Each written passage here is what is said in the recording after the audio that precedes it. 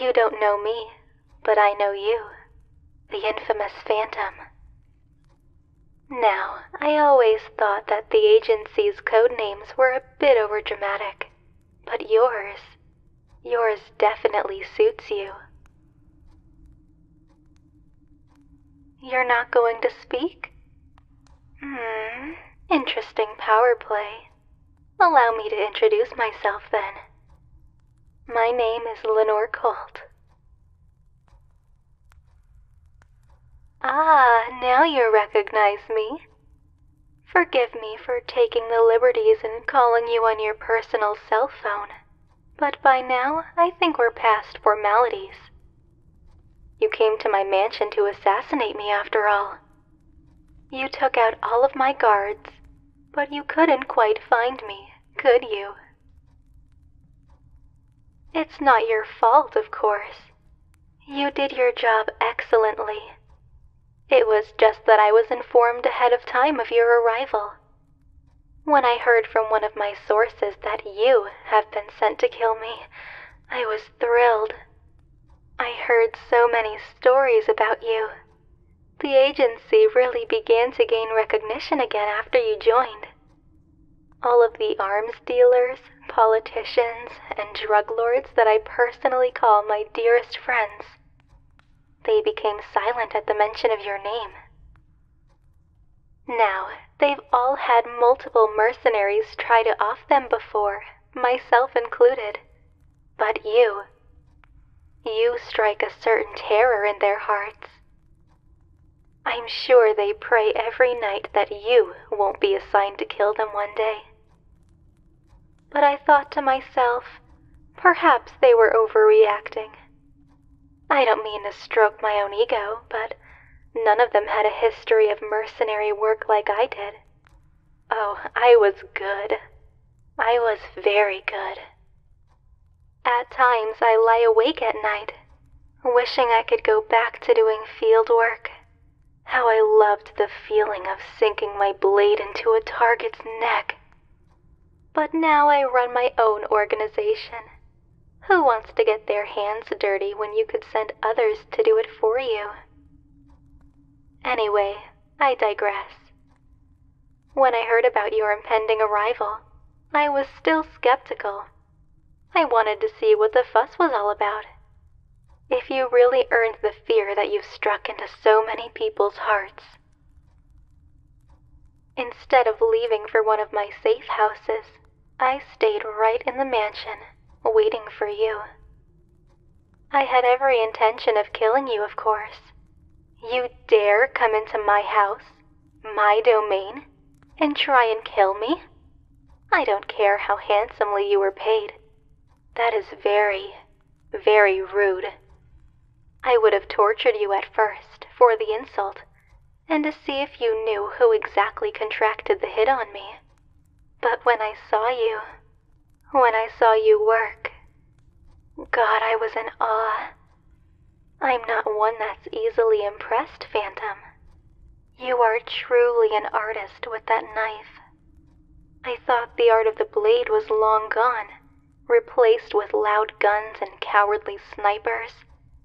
But with you, I saw an awakening. I saw a reflection of myself in your work.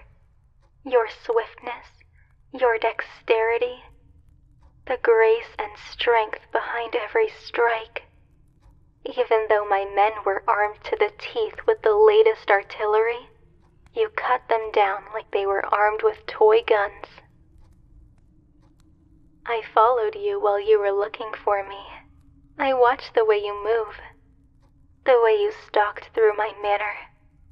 Your ability to navigate through the dark halls like the ghost that you are. And your tracking skills are impeccable. I pride myself in my ability to go through places unseen. But your keen ears still heard me. You nearly caught me a few times. The fight that would have ensued if you did find me, my dagger crossing against yours, it gives me chills just thinking about it. But I decided that I didn't want to hurt you. Why would an artist of the night attack her kindred? We are very much alike, you and I. You really are the whole package intelligent, ruthless, devilishly attractive, like nothing I've ever seen before. Now, as to why I've called. Other than just to sing your praises, I wish to make you an offer. I've seen your work firsthand now. I believe that your special talents would be best utilized in my agency. Speaking of which, is the Ice Queen still running your organization? Blair Jones. She was my mentor, you see, my master. She trained me, taught me everything I know. She was my teacher, my friend, and my lover, though she would never admit to it. It was all about professionalism with her sticking to the strict guidelines that she implemented, that a mentor and a pupil relationship wouldn't be right. Mm, but I managed to convince her otherwise. It felt so right. Though she was cold and calculating, her body was so warm beside mine. When you get the chance, tell her I said hello Tell her that I'd be welcome to have her if she could put our differences aside and stop by. Though, now I take it as a huge insult that she accepted a contract to take me out. Did she even have a contract? Or was it by her will? She even sent her best agent to do the job. She must really want me gone. Tell her that I accept her challenge, and that I'm at least gracious enough to warn her ahead of time, through you, that I plan on having someone come after her now. Can you do this for me, my dear Phantom? Though I do find it quite attractive that she is still pursuing me in this way.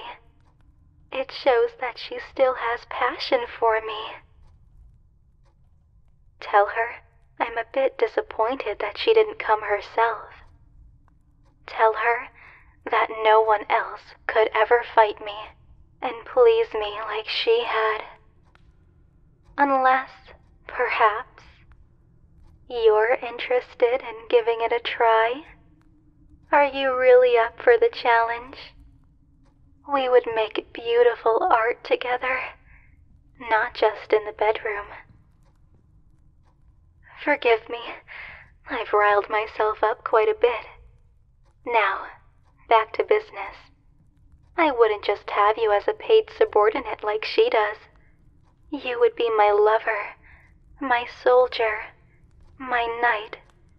You would fight for your queen, and of course I'd pay you quite handsomely. Is that what you want? Money, power, I can give you all of this, you know. Forgive me for sounding a bit possessive. I suppose it's just always been in my nature to be. I don't like sharing. Leave the Ice Queen and be mine. You don't have to make your decision right away, though. As tempting an offer as I've made it, I'll allow you a few weeks to decide before I contact you again. Have a good night, my phantom.